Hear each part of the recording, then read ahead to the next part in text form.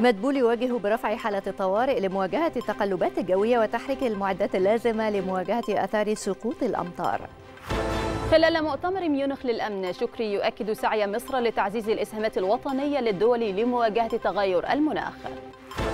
خلال أعمال المؤتمر الرابع للبرلمان العربي رئيس النواب يؤكد ضرورة صياغة رؤية عربية لمواجهة الإرهاب.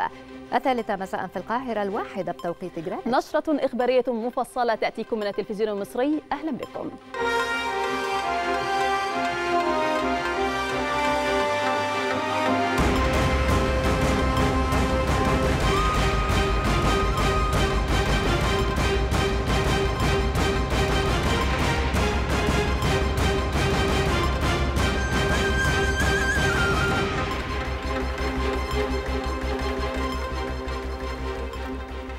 وجه رئيس مجلس الوزراء مصطفى مدبول للمحافظين بالتحرك الفوري لمتابعة الموقف ميدانيا على الأرض. مع رفع حالة الطوارئ إلى الدرجة القصوى والإسراع بتحريك المعدات اللازمة لمواجهة الأثار المترتبة على سقوط الأمطار بهذه الغزارة وخاصة كسح المياه باستمرار لضمان انتظام حركة السير على الطرق ولا سيما على الطرق السريعة. جاء ذلك خلال الاجتماع الذي عقده مع عدد من المحافظين والمسؤولين عبر تقنية الفيديو كونفرنس لاستعراض موقف حالة التقلبات الجوية الراهنة وخاصة الأمطار والرياح والإجراءات المتخذة لمواجهة تلك الظروف لتقليل الآثار السلبية الناجمة عنها. وخلال الاجتماع وجه مدبولي بتواجد مجموعات الطوارئ المتخصصة للتعامل مع أي انقطاع للمرافق.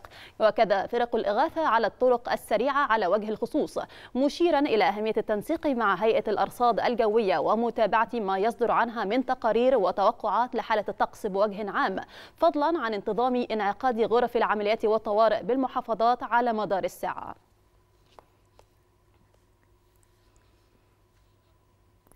من جانبها أكد محافظ القاهرة خالد عبد العال أن جميع رؤساء الأحياء ومسؤولي شركتي المياه والصرف الصحي وهيئة النظافة متواجدون بالشارع ميدانيا. للتعامل مع تجمعات المياه وتسيير حركة المرور وتسهيل حركة المواطنين بالشوارع الرئيسية والكباري والأنفاق. هذا وتشهد العديد من المحافظات حالة من الطقس غير المستقر وانخفاضا في درجات الحرارة مصحوبة برياح شديدة وتساقط الأمطار بغزارة ما أدى إلى رفع درجة الاستعداد القصوى لمواجهة التقلبات الجوية وتفعيل غرف العمليات بالمحافظات لمواجهة أي مشكلات.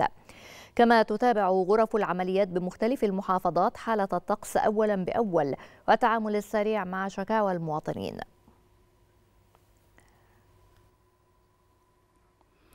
هذا وتوقفت حركة الصيد بميناء البرولوس والبحر المتوسط بمحافظة كفر الشيخ لعدم استقرار الأحوال الجوية التي تسببت في ارتفاع الأمواج عن معدلاتها الطبيعية وهطول الأمطار بصورة متقطعة ما بين متوسطة لغزيرة. كانت غرفة العمليات وإدارة الأزمات بالمحافظة قد تلقت إشارة من ميناء البرولوس بتوقف حركة الصيد ابتداء من اليوم نظرا لعدم استقرار الأحوال الجوية وارتفاع الأمواج عن معدلاتها الطبيعية.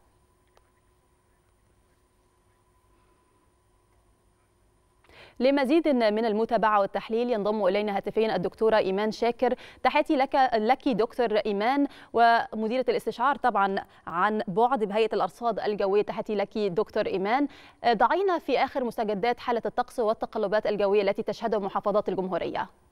أهلا بحضرتك يا فندم واهلا بكل السادة المشاهدين. بالفعل كانت اعلنت هذه الأرصاد الجوية حالة من عدم الاستقرار. بدأت منذ أمس وأثرت اليوم على العديد من المناطق. يمكن أكثر المناطق اتأثرت أمس كانت محافظات شمال الصعيد ومحافظة البحر الأحمر وسيناء وأدى ذلك لحصول السيول وتشكل السيول على العديد من المناطق وإغلاق الطرق. أما اليوم امتدت الحالة لتشمل المناطق الشمالية. أثرت على السواحل الشمالية كافة محافظات الوجه البحري امتدت للقاهرة الكبرى وأيضا مدن القناة وسيناء وشمال الصعيد. هذه الحالة بسبب المنخفض الجوي المتعمق في طبقات الجو العليا اللي بتصل درجة الحرارة مع هذا المنخفض إلى 28 درجة تحت الصفر المئوية وده بيؤدي لتساقط الأمطار الغزيره والرعدية والمصحوبة بكرات ثلجية صغيرة على العديد من المناطق يمكن تأثرت بحدات البرد بعض المناطق من القاهرة ومحافظات الدلتا وأيضا محافظات شمال الصعيد. الساعات القادمة إن شاء الله الله هتبدأ تهدأ إلى حد ما كميات الأمطار تكون أقل من الساعات نعم. الماضية لكن ما زالت مستمرة على كافة المناطق اللي تم ذكرها. ما زالت الأمطار مستمرة حتى الآن وحتى نهاية اليوم. بداية من غدا يبدأ يكون في تحسن في الأحوال الجوية على معظم الأنحاء لكن تستمر الأمطار على سيناء غدا إن شاء الله. أما القاهرة وباقي مناطق الجمهورية تتحسن الأحوال الجوية مع عودة لظهور الشبورة المائية في الصباح الباكر ده بالنسبة لحالة الجو اليوم وغدا وإلى مي... لأي مدى تستمر تلك التقلبات وماذا عن تفاصيل الحالة الجوية المتوقعة خلال الأيام القادمة بإذن الله؟ الأيام القادمة إن شاء الله هيكون في استقرار بداية من يوم الأحد وحتى يوم الثلاثاء لكن هتعاود الأحوال الجوية آه، تقلبات مرة أخرى مع نهاية الأسبوع اعتبارا من يوم الأربعاء لكن طبعا إحنا مع حضراتكم أول بأول بنعلن التفاصيل فور انتهاء هذه الحالة هنبدأ نعلن تفاصيل الحالة القادمة إن شاء الله ان ثبتت الخرائط لأن ممكن تتغير وتضعف الحالة أو تزيد شدتها وإحنا مع مع حضراتكم دايما بإذن الله. الدكتورة إيمان شاكر مدير مركز الاستشعار عن بعد بهيئة الأرصاد الجوية. شكرا جزيلا لك.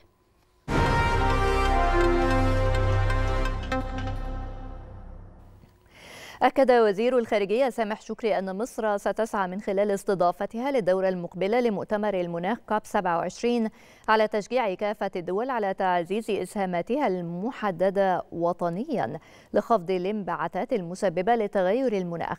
إلى جانب التركيز على الانتقال من مرحلة التعهدات إلى مرحلة التنفيذ الفعلي على الأرض. جاء ذلك خلال مشاركة وزير الخارجية في جلسة حول الدبلوماسية البيئية وتغير المناخ. وذلك في إطار مشاركته الحالية في فعاليات مؤتمر ميونخ للأمن.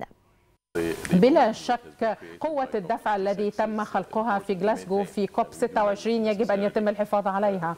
ونحن أدركنا أن هذا تعاون بين الحكومات المختلفة والذي يتأثر بكثير من الصعوبات والتعقيدات الموجودة في النظام الدولي الذي يواجه كثير من الضغوط الآن وهذا ينعكس دائما.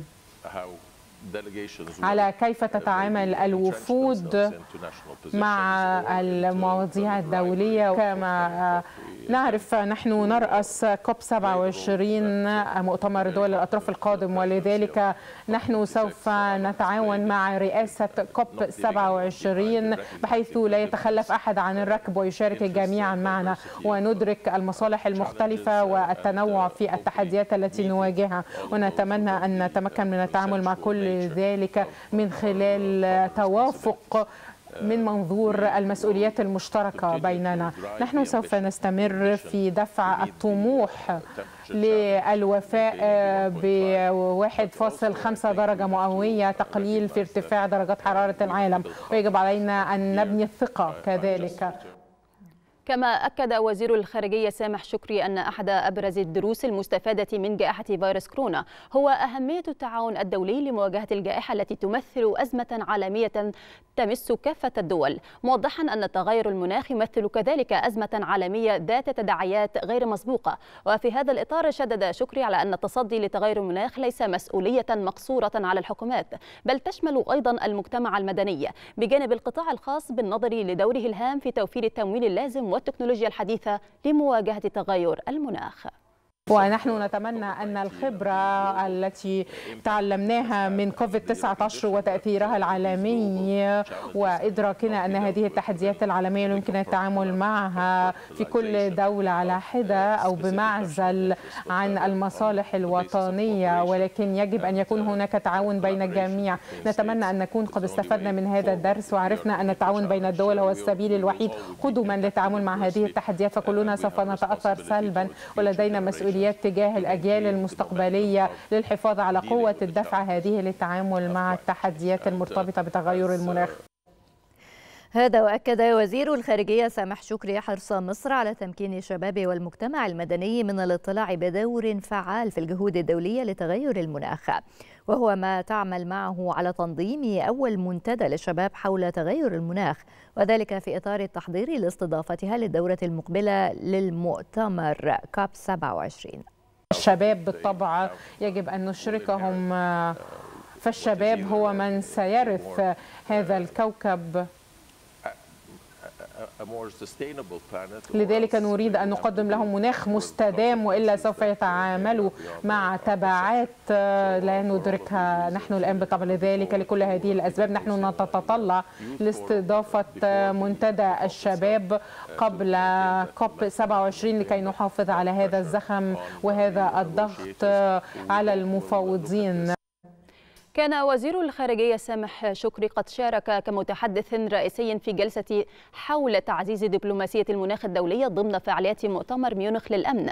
بوصفه الرئيس المعين للدورة السابعة والعشرين لمؤتمر أطراف اتفاقية الأمم المتحدة الإطارية للتغير المناخ كوب 27 هذا وتناولت الجلسة تصورا شاملا لمواجهة التغيرات المناخية. يرتكز على تحقيق التوازن بين النمو الاقتصادي وتقليل انبعاثات الغاز وإشراك الخبراء في وضع خارطة طريق عملية لمواجهة الظاهرة إلى جانب التأكيد على ضرورة تكثيف التعاون الدولي في هذا الصدد.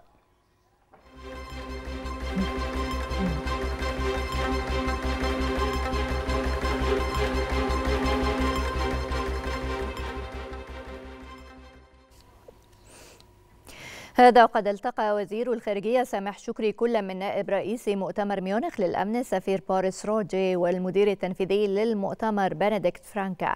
تناول اللقاء أبرز التحديات التي تواجه منطقة الشرق الأوسط والدور المصري لدعم استقرار المنطقة.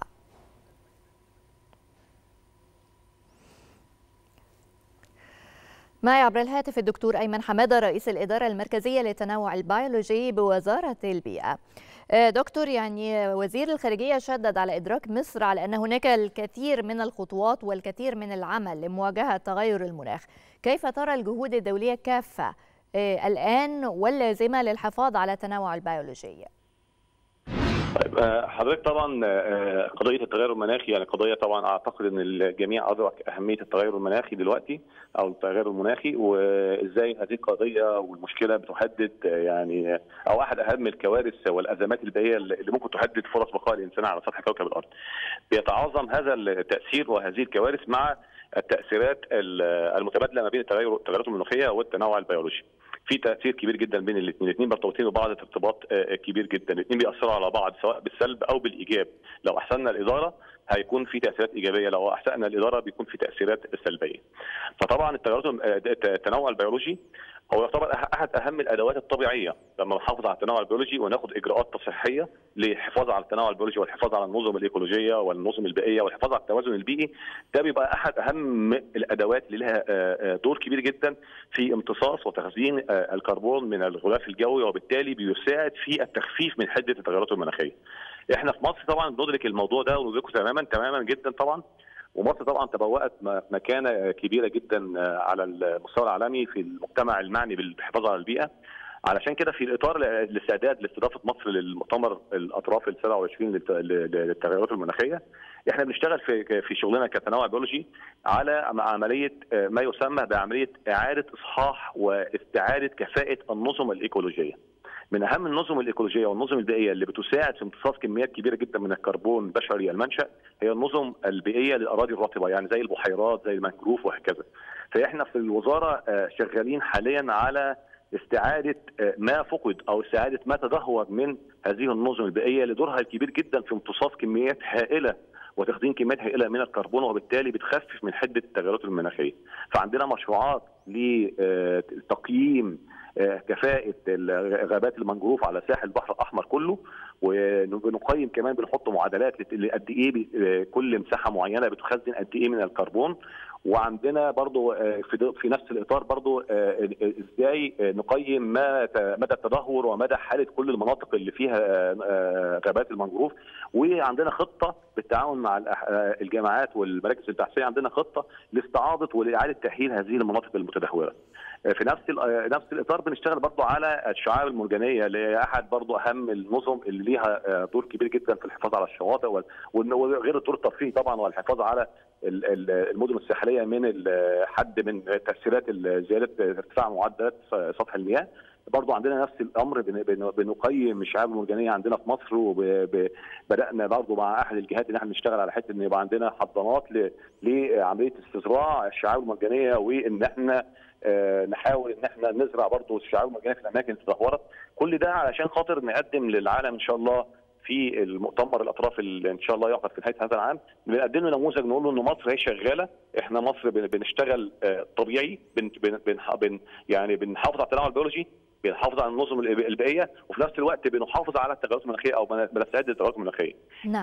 ده عشان ندي نموذج يعني آخر معلومة بس عشان ندي نموذج لإزاي كله اشتغل مع بعضه وده طبعا في إطار المبادرة المصرية أو اختصارا المبادرة المصرية اللي أطلقها سيادة الرئيس فخامة الرئيس الجمهورية في 2018 في في مؤتمر اطراف التنوع البيولوجي اللي اتعمل عندنا في مصر. المبادرة دي كانت بتتكلم على إزاي أعمل تغيرات وتأثيرات وأنشطة بتربط كل التأثيرات اللي بتهدد أو الأزمات البيئية، تغير المناخ يربطه مع مع التنوع البيولوجي مع التصحر. فإحنا بنقدم نموذج ليه إزاي نعمل اجراءات نحافظ بها على التنوع البيولوجي وفي نفس الوقت نواجه التاثيرات السلبيه للتغيرات المناخية. أشكرك جزيلا دكتور أيمن حمادة رئيس الإدارة المركزية للتنوع البيولوجي بوزارة البيئة.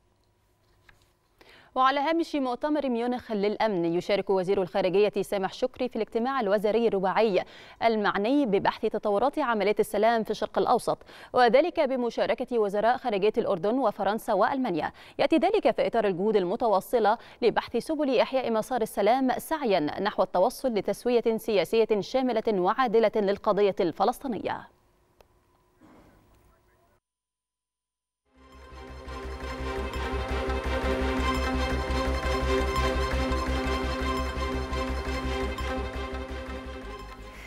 كما بحث وزير الخارجية سامح شكري مع رئيس الحزب المسيحي الديمقراطي الألماني سبل تعزيز العلاقات الثنائية بين مصر وألمانيا. كما تناول اللقاء تبادل وجهات النظر حول القضايا الإقليمية محل الاهتمام المشترك. هذا وقد التقى وزير الخارجية سامح شكري كل من رئيسة المفوضية الأوروبية أورسولا فون دير لاين ووزير الخارجية الفرنسي جان إيف لودريان. وخلال لقائه رئيس وزراء لبنان نجيب ميقاتي جدد وزير الخارجية سامح شكري التأكيد على الاهتمام البالغ الذي توليه مصر لاستقرار لبنان الشقيق ومواصلة دعمه في مواجهة التحديات المختلفة. كما شدد شكري على أهمية تغليب المصلحة الوطنية العليا للبنان والحفاظ على تماسك نسيجه الوطني وتلبية تطلعات شعبه نحو الاستقرار. إلى جانب دورها الفعال في مواجهة التغير المناخي. تبقى مصر رمانة حفظ الأمن والسلام والاستقرار في المنطقة. وضع عززته مواقف مصر تحت مظلة الأمم المتحدة ودورها المحوري في دعم الأشقاء وحل النزاعات. دور تاريخي ومحوري قدمته مصر في منظومة الأمم المتحدة لحفظ السلام. لا سيما التضحيات التي قدمتها عناصر حفظ السلام المصرية في سبيل تسوية النزاعات وصون السلم والأمن الدوليين تحت راية الأمم المتحدة. مصر حافظت على وضعيتها ضمن أكبر الدول المساهمة بقوات حيث تشارك في اللحظة الراهنة بأكثر من ثلاثة آلاف عنصر يؤدون واجبهم تحت راية الأمم المتحدة لاستعادة الاستقرار وبناء السلام في مناطق النزاعات.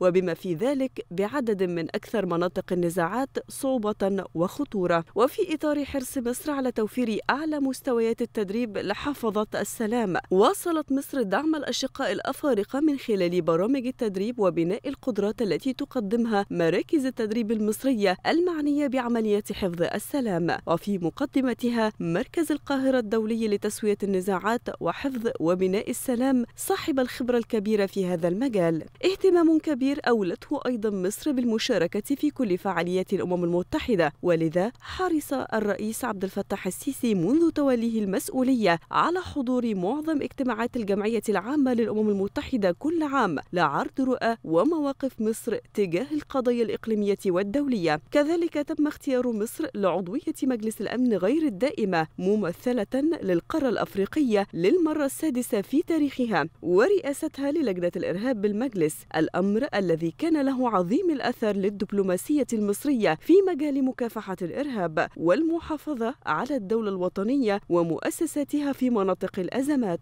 وتكثيف النشاط في عدد من الدوائر غير التقليدية مما أسهم في استقلالية المواقف المصرية واكتسابها احتراما ومصداقية.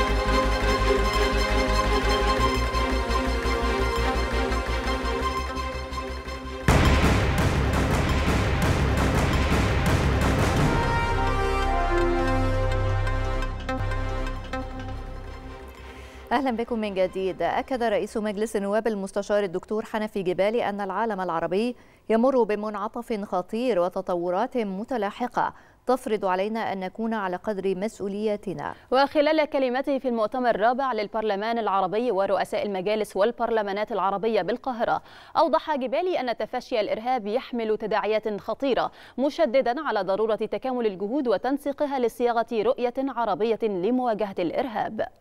يفرض علينا تفشي الإرهاب والذي يحمل تداعيات غاية في الخطورة على الأمن القومي العربي أن تتكامل جهودنا العربية وتتحد لمكافحة تلك الظاهرة البغيضة التي أطلت بوجهها القبيح على شعوبنا ومجتمعاتنا العربية.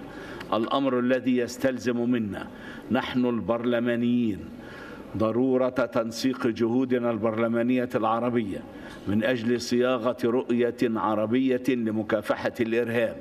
قوامها معالجة الظروف والأسباب الحقيقية المؤدية إلى انتشاره بالإضافة لبناء قدرات دولنا العربية في منع ومكافحة الإرهاب وتجفيف منابعه فضلا عن التصدي بفاعلية لخطاب الكراهية والحشد والتحريض الذي تتبعه الكيانات والتنظيمات الإرهابية لتجنيد عناصر جديدة للانضمام لتلك التنظيمات الظلامية.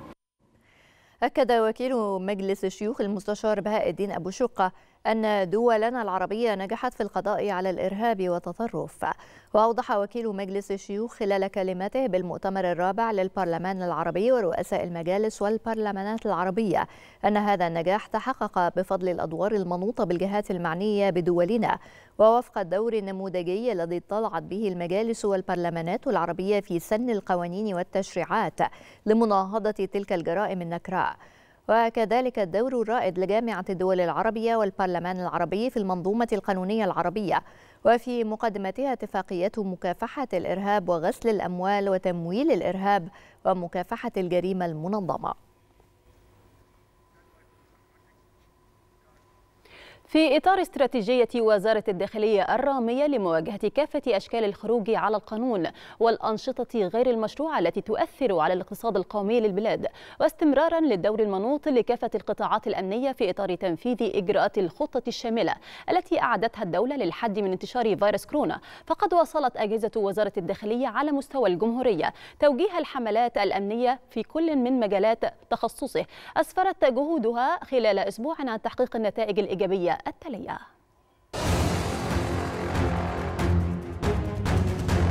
تتواصل جهود وزارة الداخلية على مستوى الجمهورية لمواجهة الجريمة بشتى صورها وعلى مدار أسبوع. نجحت أجهزة الوزارة في تحقيق نتائج متميزة في كافة مجالات العمل الأمنية. ففي إطار تنفيذ إجراءات الخطة الشاملة التي أعدتها الدولة للحد من انتشار فيروس كورونا. ضبطت أجهزة وزارة الداخلية خلال أسبوع 6651 قضية تموينية متنوعة وضبط 1270 قضية في مجال منع تداول الأرجيلة.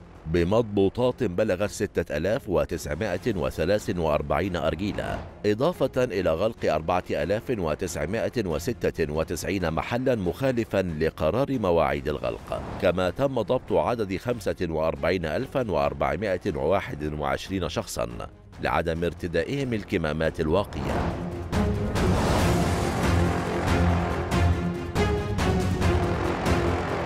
وإلى قضايا الغش التجاري والتلاعب بالدعم. أسفرت جهود وزارة الداخلية خلال أسبوع عن ضبط 9549 قضية تموينية متنوعة من بينها. 161 قضية بيع اسطوانات بوتاجاز في السوق السوداء بمضبوطات بلغت 31027 اسطوانة بوتاجاز وضبط 36 قضية مواد بترولية بمضبوطات بلغت 625190 لتر مواد بترولية تم تجميعها لبيعها في السوق السوداء إضافة إلى ضبط 9352 قضية سلع غذائية وتموينية بمضبوطات وزنت 1252 طن و200 كيلو سلع غذائية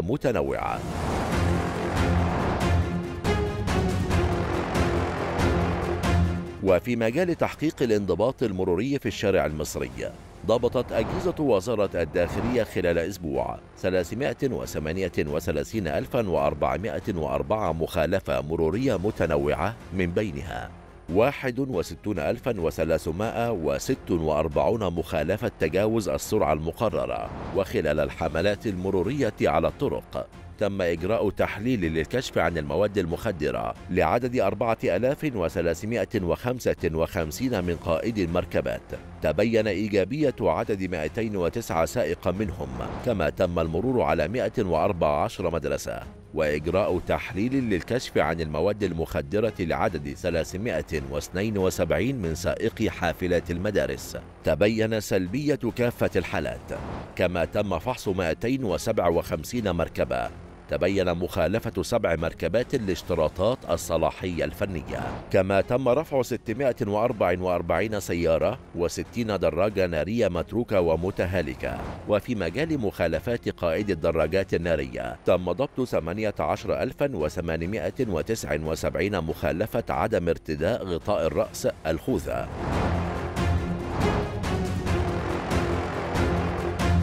وفي مجال الأمن السياحي نجحت أجهزة وزارة الداخلية في ضبط 746 قضية ومخالفة في مجالات حيازة الآثار والحفر والتنقيب عن الآثار ومخالفات الشركات السياحية. وفي مجال قضايا التيار الكهربائي ضبطت وزارة الداخلية خلال أسبوع 68748 قضية في مجال سرقة التيار الكهربائي ومخالفة شروط التعاقد. بقيمة مالية محصلة في هذه القضايا بلغت 72 مليون و115 ألفا و679 جنيها.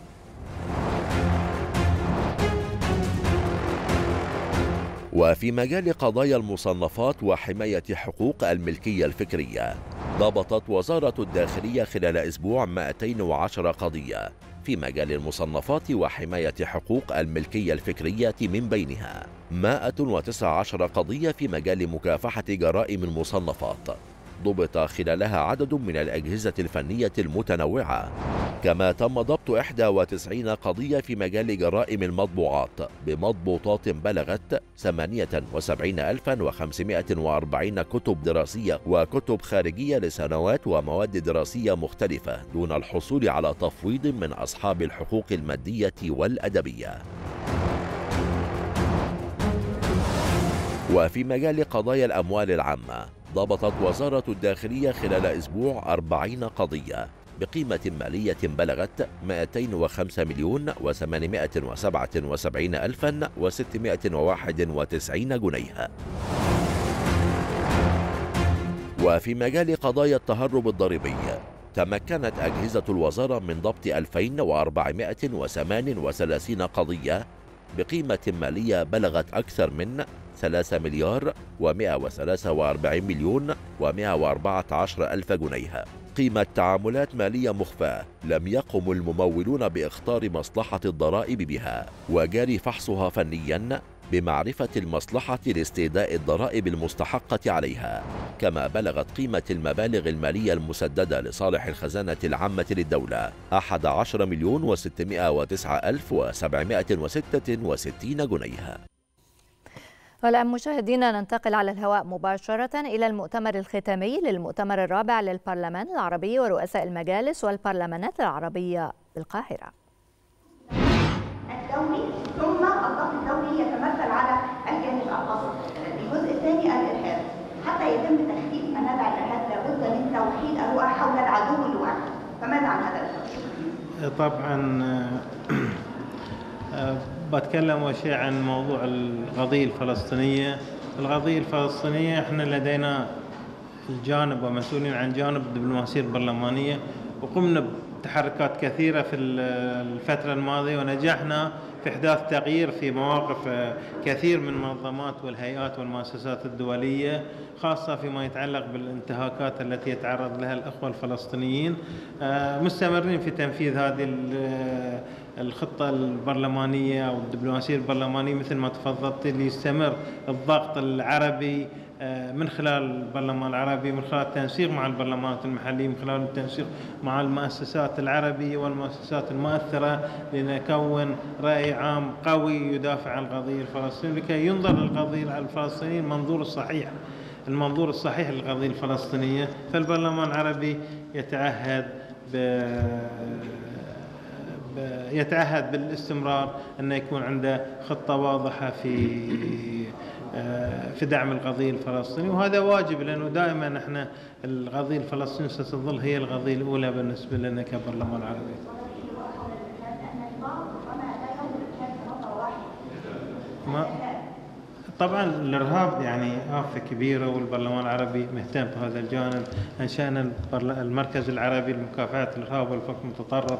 اتفقنا عمل اتفاقية مهمة مع الاتحاد البرلماني الدولي لموضوع التعامل مع التشريعات المتعلقة بالإرهاب على المستوى الدولي وتزويد البرلمانات العربية بها. الإرهاب مشكلة كبيرة لكن نحن نثق بأن الدول العربية ستتصدى لهذا الإرهاب. لأن إحنا أصلا أكثر الدول التي يستهدفن الإرهاب. لكن في النهاية نتمنى أن تكون هناك خطة عربية موحدة لمكافحة الإرهاب لأن كل الدول العربية الآن تتعرض للإرهاب سواء إرهاب الدول أو إرهاب التنظيمات أو إرهاب أنواع مختلفة للإرهاب فلذلك نتمنى أن يكون في هناك خطة عربية لمواجهة الإرهاب لما يمثله من خطر كبير. إذا مشاهدينا نقلنا لحضراتكم جانبا من المؤتمر الصحفي الختامي للمؤتمر الرابع للبرلمان العربي ورؤساء المجالس والبرلمانات العربية بالقاهرة.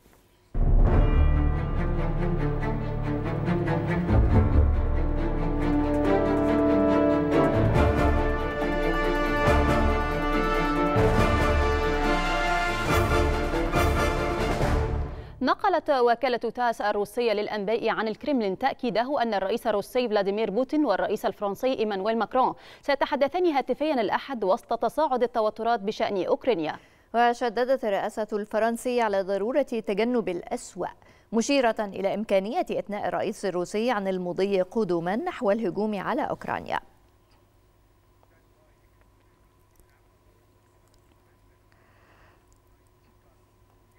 دعا رئيس الوزراء البريطاني بوريس جونسون الغرب إلى الوحدة في مواجهة روسيا. وفي كلمة له ضمن مؤتمر ميونخ للأمن شدد جونسون على أنه من غير الممكن السماح بما وصفها بالتجاوزات الروسية وتغير حدود أوروبا وباستخدام إمدادات النفط والغاز ورقة للابتزاز بحسب وصفه. وأشار جونسون إلى أن الإجراءات الروسية تشكل مصدر قلق مشروع للجانب الأوكراني مؤكدا أن الحشود الروسية لن تخيف ولن تثني حلف شمال الأطلنطي عن الرد في حال الهجوم على أوكرانيا.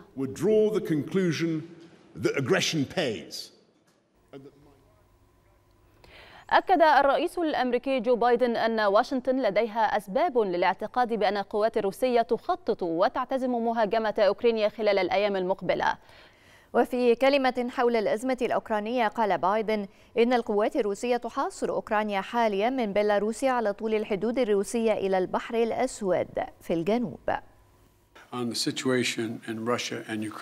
خلال هذه اللحظات المتوترة أبدت القوات الأوكرانية قدرا كبيرا من التقدير ويمكنني أن أضيف ضبط النفس. لقد رفضوا السماح للروس بضربهم في الحرب لكن الحقيقة تظل أن القوات الروسية تحاصر أوكرانيا حاليا من بيلاروسيا على طول الحدود الروسية ومعها أوكرانيا إلى البحر الأسود في الجنوب وكل هذه الحدود. لدينا سبب للاعتقاد بأن القوات الروسية تخطط وتعتزم مهاجمة أوكرانيا في الأسبوع المقبل. في الأيام المقبلة نعتقد أنهم سيستهدفون العاصمة الأوكرانية كييف المدينة التي يبلغ عدد سكانها مليونين وثمانمائة ألف شخص بريء.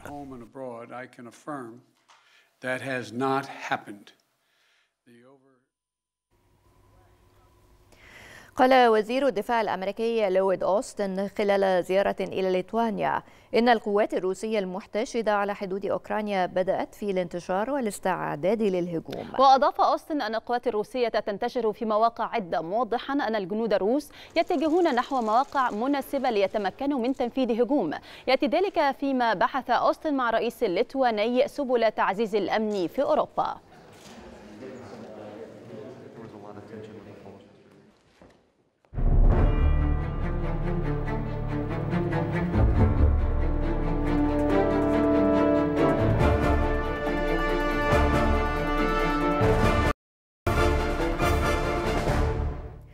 سجلت أستراليا 43 وفاة مرتبطة بفيروس كورونا وذلك بالتزامن مع تأهبها لاستقبال السائحين الوافدين من الخارج يوم الاثنين لأول مرة منذ قرابة عامين. كانت أستراليا قد أغلقت حدودها في شهر مارس عام 2020 لكنها بدأت إعادة الفتح تدريجيا منذ نوفمبر الماضي إذ سمحت أولا لمواطنينها بالسفر ثم للطلاب والعاملين الأجانب والآن للسائحين.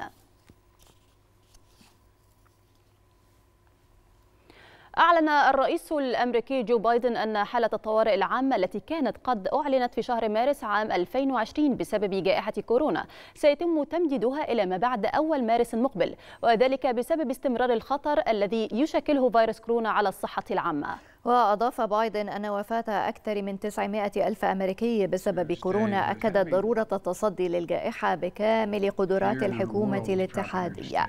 تأتي تلك الخطوة رغم تقليص عدد كبير من الزعماء المحليين في الولايات المتحدة قيود الجائحة مع انحصار موجة سلالة أوميكرون المتحورة من فيروس كورونا.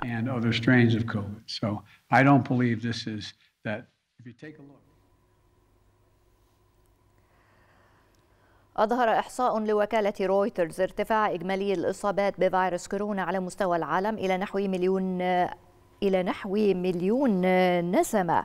عفوا 419 مليون نسمة. في حين وصل إجمالي عدد الوفيات الناتجة عن الفيروس إلى أكثر من 6 ملايين وفاة.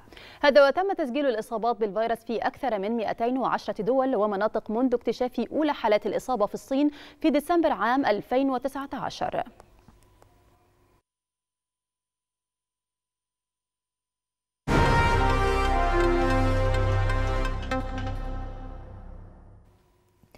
عقدت وزارتا الموارد المائية والري والتخطيط والتنمية الاقتصادية اجتماعا عبر تقنية الفيديو كونفرنس لاستعراض الموقف التنفيذي للخطة الاستثمارية للعام المالي الحالي 2021-2022 والخطوط العامة لمقترح خطة الوزارة للعام المالي القادم. وأوضحت وزارة الموارد المائية والري أن بنود الميزانية تضمن تنفيذ كافة المشروعات التي تنفذها الوزارة لمجابهة التحديات المائية المختلفة بما يحقق تحسين إدارة الموارد المائية وتحديث المنظومة المائية في مصر. وشهد الاجتماع عرض موقف الخطة الاستثمارية الحالية والمستقبلية بكافة جهات وزارة الموارد المائية والري لاستكمال تنفيذ المشروعات الكبرى الجارية أو لتنفيذ مشروعات جديدة. انطلقت عملية الدراسة في أول أيام الفصل الدراسي الثاني للعام الدراسي الحالي بمدارس 12 محافظة بالإضافة لبعض المدارس الخاصة والمدارس التابعة للكنيسة في محافظتي القاهرة والجيزة. هذا وينتظم غدا ما يقرب من 24 مليون طالب وطالبة بباقي مدارس الجمهورية بجميع محافظات الجمهورية. وكذلك بالجامعات مع مع اتباع كافة الإجراءات الاحترازية الوقائية والتباعد الاجتماعي بين الطلبة داخل الفصول وخارجها حفاظا على صحة الطلاب والمعلمين وجميع العاملين من الأوبئة والجوائح الصحية.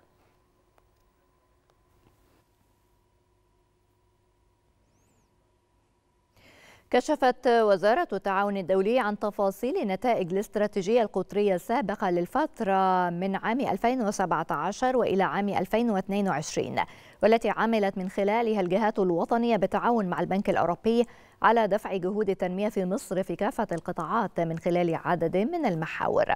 وأوضحت وزارة التعاون الدولي أن التمويلات التنموية التي أتاحها البنك الأوروبي لإعادة الإعمار والتنمية للقطاعين الحكومي والخاص على مدار فترة الاستراتيجية السابقة سجلت نحو 4.9 مليارات يورو وذلك في إطار الجهود التنموية المشتركة ودعم رؤية الدولة 2030 وتعزيز التحول نحو اقتصاد أخضر ونمو شامل ومستدام. أعلنت وزارة التخطيط والتنمية الاقتصادية في تقرير صادر عنها ملامح خطة المواطن الاستثمارية لمحافظة كفر الشيخ لعام 2021-2022 وذلك في إطار مواصلة الإعلان عن خطة المواطن في كافة محافظات الجمهورية للعام الثالث على التوالي. يأتي ذلك بهدف توعية المواطنين بشأن توجهات وأولويات خطة التنمية المستدامة للعام المالي الحالي ودورها في تحقيق رؤية مصر 2030 هذا وأكدت وزيرة التخطيط والتنمية الاقتصادية هالة السعيد أن إطلاق خطة المواطن يعكس حرص الدولة الشديد على إشراك المواطنين في الجهود المبذولة لتطوير منظومتي التخطيط والمتابعة.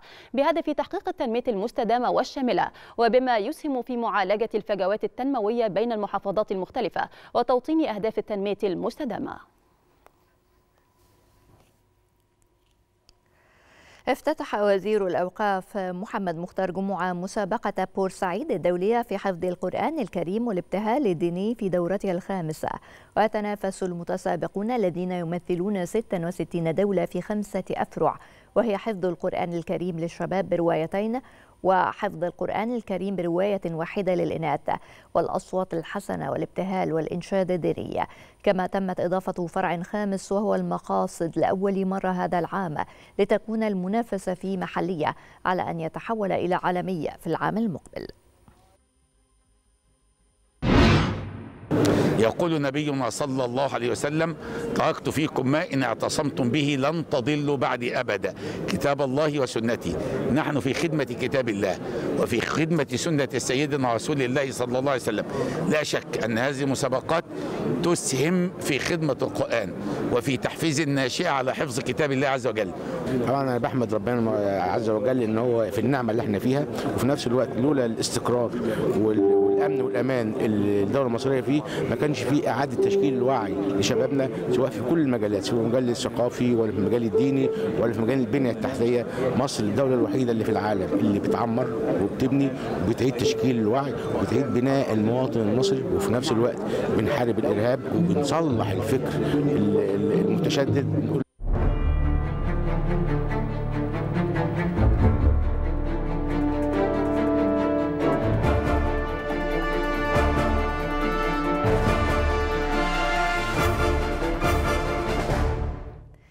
أكد وزير الزراعة واستصلاح الأراضي السيد القصير أن الوزارة تشارك في المشروع القومي لتطوير قرى الريف المصري ضمن المبادرة الرئاسية. حياة كريمة. وأوضح القصير أن المبادرة تستهدف رفع مستوى صغار المزارعين وإقامة مشروعات خدمة وإنتاجية بالريف مشيرا إلى أن الوزارة سوف تقدم كافة الخدمات للمزارعين بهذه المبادرة. وذلك من خلال إنشاء مجمعات خدمية زراعية تشمل تقديم كافة الخدمات الزراعية وفقا لاحتياجات القرى المستهدفة ووحدات بيطرية وجمعيات زراعية ومراكز إرشاد زراعية وكذلك مراكز تجميع الألبان.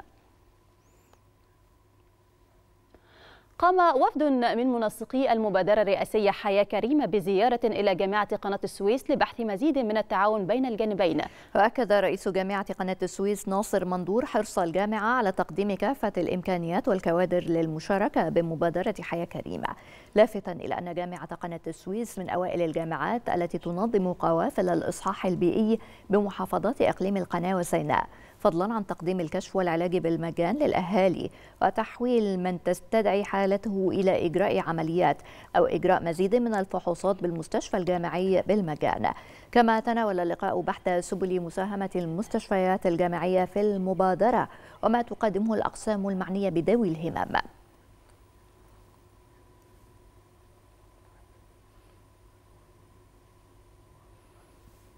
أعلنت مديرية الصحة بمحافظة سوهاج عن استمرار عمل القوافل الطبية العلاجية المجانية للقرى الأكثر احتياجاً والقرى التي تشهد أعمال إنشاء وتطوير للوحدات الصحية بها. ضمن المبادرة الرئاسية. حياة كريمة. وأشارت منسق عام القوافل الطبية بمديرية الصحة بسوهاج سحر إبراهيم أن القوافل تشمل تسعة تخصصات طبية متنوعة بالإضافة إلى عيادة للأسنان ومعمل للتحاليل الطبية وصيدلية لتقديم الأدوية بالمجان فضلا عن تقديم القوافل عدة محاضرات توعوية للمواطنين بتلك القرى. صدد إقامة قافلة على مدار يومين ضمن ضمن سلسلة قوافل المبادره الرئاسيه حياة كريمة. عندي في القافله تسع تخصصات بطنة وأطفال ونساء وجراحة ورمد وجلدية وعظام وأسنان وتنظيم أسرة. كل الخدمات بتقدم مجاني سواء كشف أو علاج أو أشعة أو معمل تحاليل عندي معملين تحاليل منفصلين معمل للطفيليات ومعمل للدم.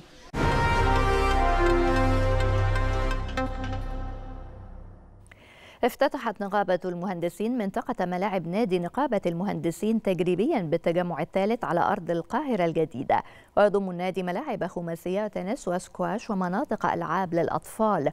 وفق أحدث النظم والمعايير بتكلفة بلغت نحو 60 مليون جنيه بما يضمن تنفيذ خطة النقابة للارتقاء بمستوى الخدمات لأعضائها. ليعزز ذلك الأمال بنقل مقر النقابة من مدينة نصر إلى القاهرة الجديدة مع إضافة العديد من الخدمات التي تقدمها النقابة للمرة الأولى. على أرض القاهرة الجديدة يفتتح نادي نقابة المهندسين تجريبيا في ثوب يليق بخدمة المهندس المصري ملاعب خماسية وتنس وسكواش ومناطق ألعاب للأطفال وكلها أعدت وفق أحدث النظم والمعايير بتكلفة تناهز الستين مليون جنيه وبما يضمن تنفيذ خطة النقابة للارتقاء بمستوى الخدمات لأعضائها. طبعا نقابة المهندسين بتقدم خدماتها لكل مهندسينها في مختلف المحافظات. وزي ما قلت لحضرتك النهارده النادي ده بيعتبر متنفس كبير جدا بالإضافة للنادي اللي موجود في نادي أبو الفدا في هذا الأمر مع نقابة المهندسين بالقاهرة. الحمد لله المرحلة الأولى والثانيه خلصوا، المرحلة الثالثه بدأنا فيها، منطقة الملاعب تم افتتاحها النهارده وحضر معالي النقيب المهندس هاني ضاحي.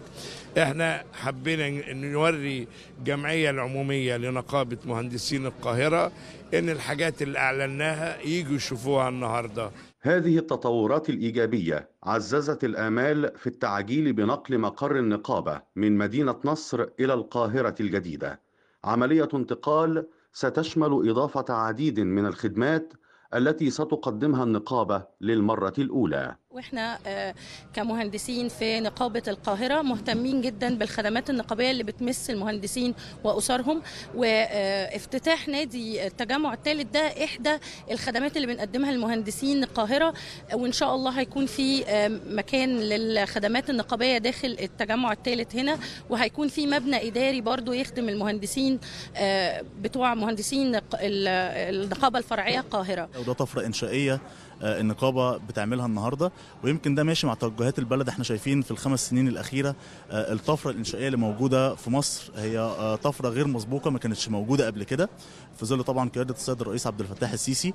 ويمكن دي كمان بتورينا قد إيه النقابة بتهتم بملف الشباب لأن المشروعات القومية كلها بتحقق أهداف التنمية المستدامة والتحول الرقمي وقائمة على مبدأ المدن الذكية. وعلى قائمة أولويات النقابة إنجاز مرحلتين منتظرتين من التطوير بناديها بالتجمع الأول. خطة ستتكلف نحو 100 مليون جنيه ويضعها المهندسون قيد المناقشة في هذا الاجتماع. الخدمات اللي موجودة يعني وظاهرة جدا جدا بالنسبة للمهندسين بالنقابة بمنطقة القاهرة الجديدة والخدمات اللي اتعملت في الخدمات الصحية وزيادة المعاش كلها حاجات تهم المهندس. المهندس النهاردة هو العصب الأساسي في التنمية اللي مصر قائمة بيها في الوقت الحالي. كان عندنا أساسا نادي أبو الفدا وده في الزمالك وليه طبيعة خاصة على النيل ونادي حلوان وده بيخدم جنوب القاهرة أساسا. كان منطقة شرق القاهرة ما فيهاش نوادي أساسا. آه الأرض دي اتاخدت اتعمل فيها شغل كويس جدا يعني فيها ملعب سكواش فيها ملاعب خماسي فيها مبنى حفلات في آه مبنى تاني اجتماعي كلاب هاوس آه كبير. ده بيخدم شرق القاهرة وشرق القاهرة أساسا نقابه القاهرة أساسا فيها 230 ألف مهندس من ضمن 830 بنسبة حوالي 27% الاجتماع شهد أيضا تكريم أبناء المتفوقين من أعضاء النقابة في لفتة تهدف إلى دعم المتميزين من الطلاب في مختلف المراحل الدراسية فضلا عن الحاصلين على الماجستير والدكتوراه لعام 2020 وعلى الهامش افتتح وزير الإنتاج الحربي معرضا يضم أحدث منتجات مصانع الوزارة وشركاتها وكلها صناعة مصرية. أنا في منتهى منتهى منتهى السعادة لأن إحنا جينا هنا في انتخابات 2020 أنا منتخب في 2020 جينا استلمنا النادي ده عبارة عن سور وأرض صحراء فيهاش أي حاجة. آه كانت حلم بالنسبة لنا آه إن إحنا يعني النادي ده شايفينه على ورق وشايفينه صور حلم إن إحنا نشوفه على الطبيعة. آه النهارده آه والناس داخلة النادي أنا كنت في منتهى منتهى منتهى السعادة. افتتاح منطقة الملاعب بنادي نقابة مهندسين القاهرة الجديدة ونقل مقر النقابة من مدينة نصر إلى التجمع أضاف المزيد من الخدمات الجديدة بالمقر الجديد. مشاهدينا وصلنا إلى ختام نشرتنا وهذه عناوين الأخبار. مدبولي يوجه برفع حالة الطوارئ لمواجهة التقلبات الجوية وتحريك المعدات اللازمة لمواجهة أثار سقوط الأمطار. خلال مؤتمر ميونخ للأمن شكري يؤكد سعي مصر لتعزيز الإسهامات الوطنية للدول لمواجهة تغير المناخ. خلال أعمال المؤتمر الرابع للبرلمان العربي رئيس النواب يؤكد ضرورة صياغة رؤية عربية لمواجهة الإرهاب.